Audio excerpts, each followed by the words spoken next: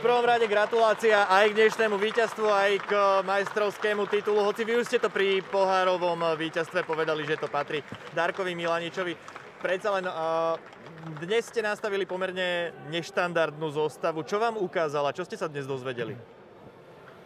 Tak museli sme improvizovať, pretože štyroch hráčov som pustil domov, tí, ktorí leteli cez more a, a ďaleko, čiže Abena, Rabiu, Demarko a Ede. Čiže tých som, Eza, tých som pustil domov, a, ale nečakane ochorel Čavrič.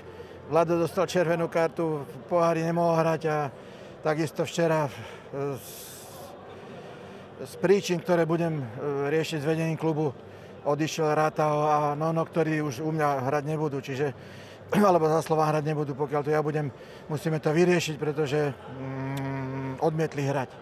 Čo, som musel súrne riešiť a e,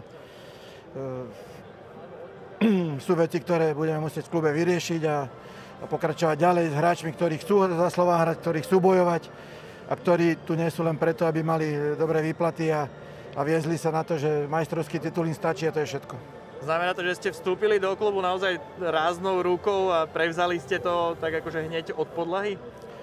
Ja som to nechcel takto riešiť, ale predsa nemôže byť niekto urazený, keď ho dám dole cez polčas, alebo hrá len 30 minút a, a povie, že je zranený, alebo že ho boli chrba. Takže toto u mňa také veci neplatia a to, to si nemôže v klube, ako je Slova, nikto dovoliť.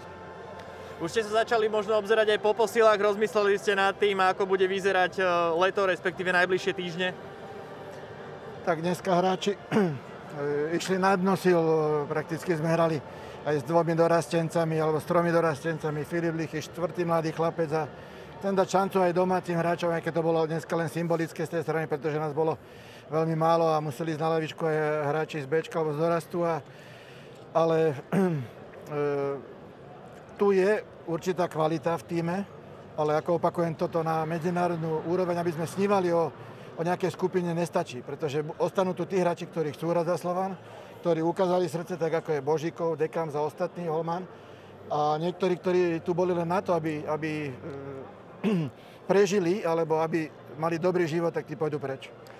Na čo viete nadviazať? Dokázali ste sa už dostatočne zžiť s týmom e, na to, aby ste vedeli povedať, že čo bolo to dobré, v čom chcete pokračovať a čo budete meniť?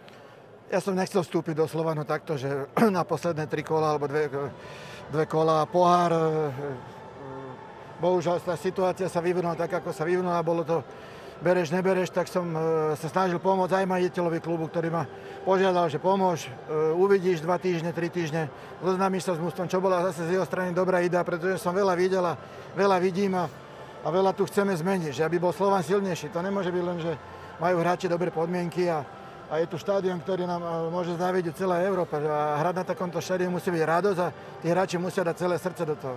Majú tu výborné podmienky vytvorené, ale, ale nie všetci si to vážia a to tak ďalej nemôže ísť. Už sa vám podarilo začať študovať aj možných súperov v rámci prvého predkola Ligy majstrov? Viete čo, videl som, ktorých môžeme dostať, alebo aký bude los, ale momentálne som mal toľko starostí iných, že na toto som naozaj nemal čas a Gratulujem Slovanu k e, titulu, k poháru, gratulujem hráčom, a, ale musia pridať, pretože e, fyzicky to mužstvo nie je pripravené. Po zisku slovenského pohára ste povedali, že nebudete oslavovať s týmom až tak lepo. Dnes už si dáte aspoň malé pivo. Ja nepijem vôbec nič už dlhé roky, takže nedám si nič a, a pôjdem e, hore na kávu a pôjdem domov. Ďakujeme za rozhovor. Ďakujem.